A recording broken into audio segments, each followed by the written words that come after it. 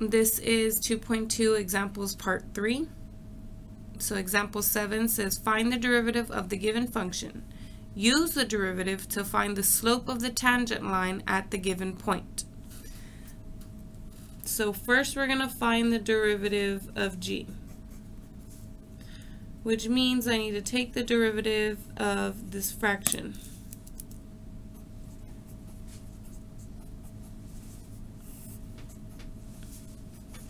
However, I am going to simplify that fraction first. So I'm going to have 2x squared over x squared plus 5x over x squared plus 3 over x squared. Then I'm going to reduce each fraction so that I get 2 plus 5 over x plus 3 over x squared. Then I'm going to write the x's in the denominators as negative powers. So 5x to the negative 1 plus 3x to the negative 2. Now I'm going to use my rules. So the derivative of a constant is 0. The derivative of 5x to the negative 1 is 5 times negative 1 x to the negative 2 plus 3 negative 2x to the negative 3. So I'm bringing down my powers and decreasing it by 1. Bringing down my power and then decreasing that power by 1.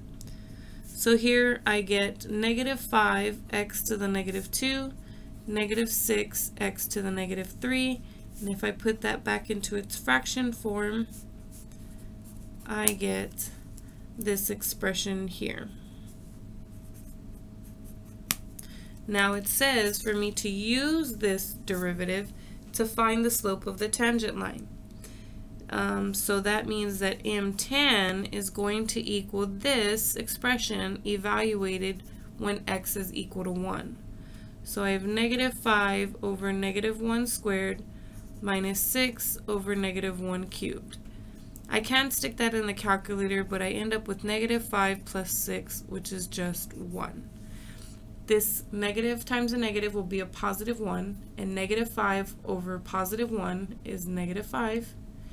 This will be negative 1 times negative 1 times negative 1, which is a negative 1, and negative 6 divided by negative 1 is a positive 6. So that's where I got those numbers from. You could also type these fractions into the calculator and it'll still give you that positive 1. For example 8, it says determine the point at which the following has a horizontal tangent line. So you have to think about that. If it has a horizontal tangent line, that means that the slope of the tangent line is zero. That is the slope of a horizontal line. It's flat. It has no incline and no decline. So the slope is just zero. So what I want to do is I want to figure out where does my f prime of x equal zero. That's what I want to know. Okay, well to figure that out, we first have to find f prime.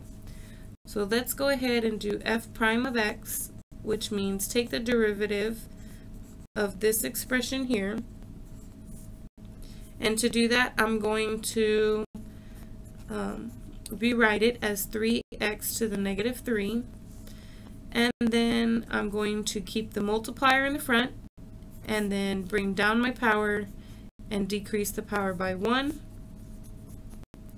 and then go back and rewrite it as a fraction.